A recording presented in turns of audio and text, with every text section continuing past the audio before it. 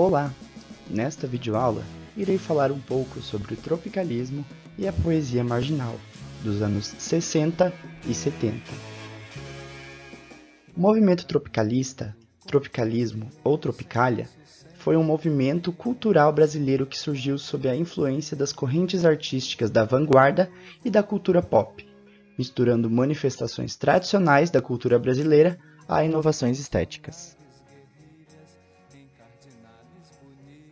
O contexto histórico no mundo era de grande rebelião e polarização ideológica, representadas pela Guerra Fria, pela queda do Muro de Berlim, pela Revolução Cubana e até mesmo a Revolução Sexual, sendo que houve uma grande ascensão do feminismo e também da luta pelos direitos civis, liderada por Martin Luther King. Houve também, nessa época, a chegada do homem à Lua e a Guerra do Vietnã. Enquanto isso, no Brasil, acontecia o famoso golpe militar, com repressão e tortura àqueles que se colocavam contra o sistema.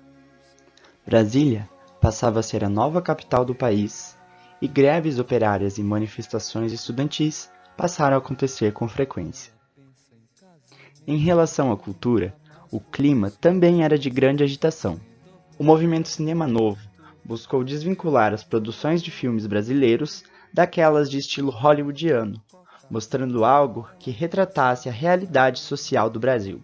Naquele período, também houve a explosão da era do rádio, o nascimento da televisão e, com isso, os festivais de música, nos quais se apresentavam artistas como Gilberto Gil, Caetano Veloso e Chico Buarque.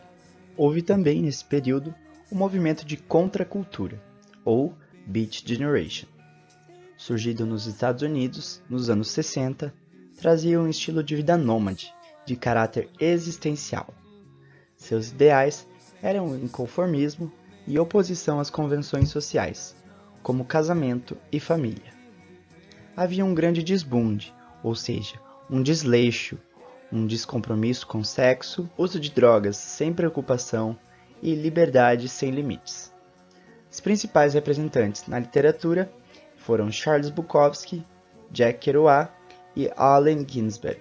A respeito do tropicalismo, podemos destacar algumas características, como o rompimento com a música protesto, um descompromisso com estilos e modismos, com as coisas feitas e esgotadas, uma alegoria dos contrastes do Brasil, adaptação das contribuições da contracultura e influência da poesia concreta e de Oswald de Andrade, com seu movimento antropofágico. Sendo assim, era proposto que fosse devorado e deglutido todo e qualquer tipo de cultura, desde as guitarras elétricas dos Beatles até a bossa nova de João Gilberto e o nordestinismo de Luiz Gonzaga. Ou seja, tudo era referência, tudo era misturado e assim era criado algo novo letras das canções tropicalistas eram inovadoras e criavam jogos de linguagem que se aproximavam muito da poesia concretista. Por isso, muitas das composições tropicalistas eram elevadas ao status de poesia, como é o caso da canção Bate Macumba, que veremos a seguir. Bate macumba, Bate macumba,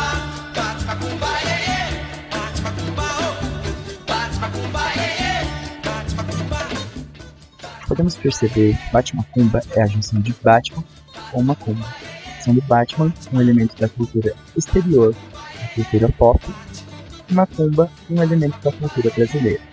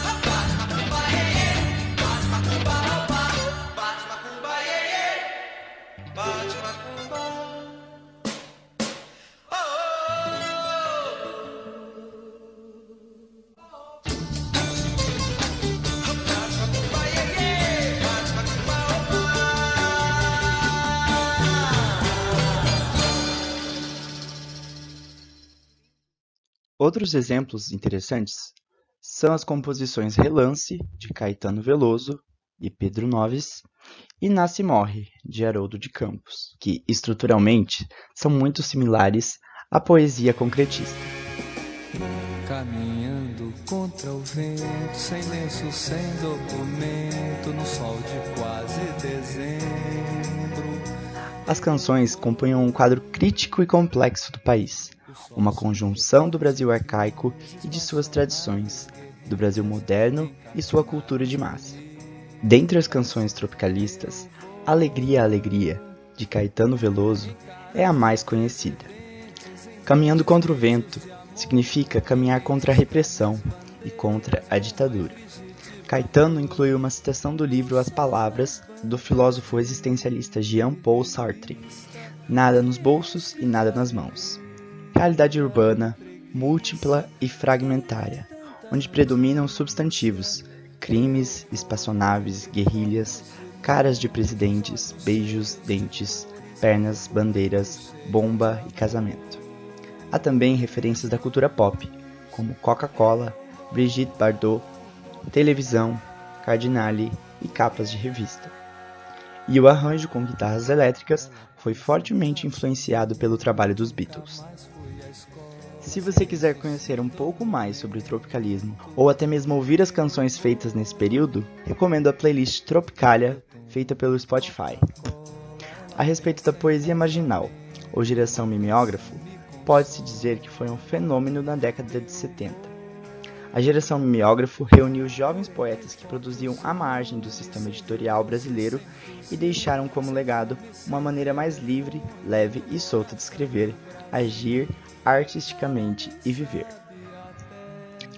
A poesia marginal foi um movimento cultural importante para a geração que buscou, através da literatura, uma atuação cultural distante das da academia e indiferente à crítica literária, na qual havia tendência à coloquialidade, espontaneidade, experimentação, humor, paródia e representação do cotidiano urbano, ou até mesmo temática erótica. É importante frisar a recusa dos modelos literários, de forma em que essas poesias não se encaixavam em nenhuma escola ou tradição literária, sendo um movimento independente. A obra 26 Poetas Hoje, de organização de Heloísa Buarque de Holanda, compila diversas dessas poesias e também considerações da autora. Para Paulo Leminski, marginal é quem escreve à margem, deixando branca a página para que a paisagem passe e deixe tudo claro à sua passagem. Marginal é escrever na entrelinha, sem nunca saber direito quem veio primeiro, o ovo ou a galinha. Outro exemplo é a poesia de Cacaso, Lar Docilar. Minha pátria é minha infância, por isso vivo no exílio. Vida e obra. Você sabe o que Kant dizia? que se tudo desse certo, no meio também, daria no fim, dependendo da ideia, que se fizesse de começo e depois, para ilustrar, saiu dançando um foxtrot. Receita de Nicolas Ber.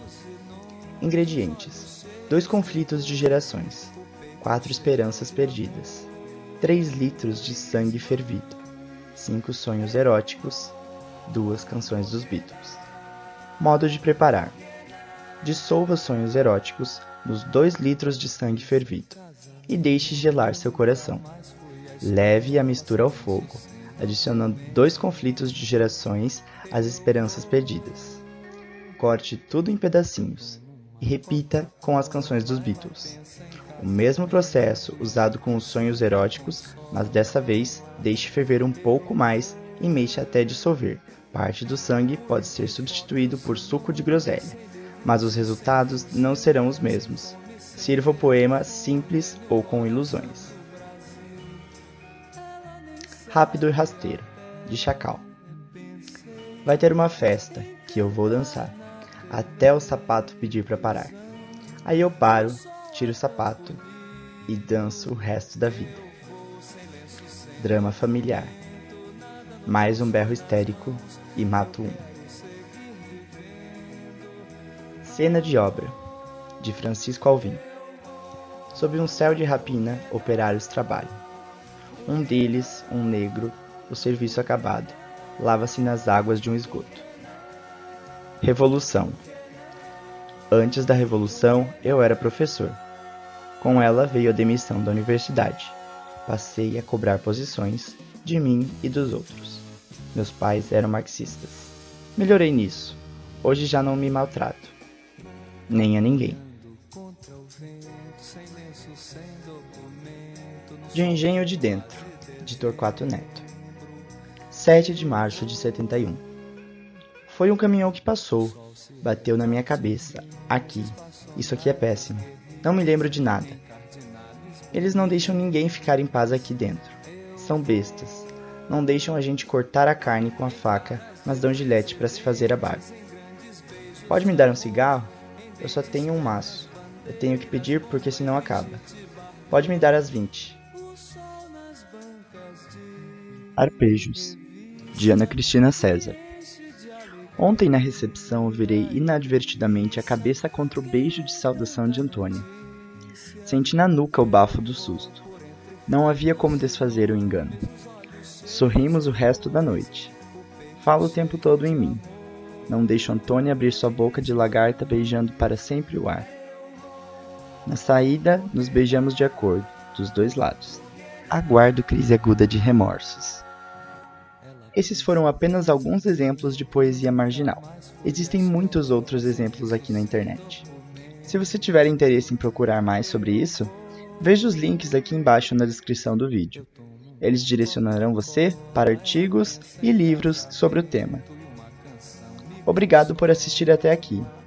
Deixe um joinha se você gostou do vídeo e comente embaixo dizendo o que achou. Muito obrigado e até mais.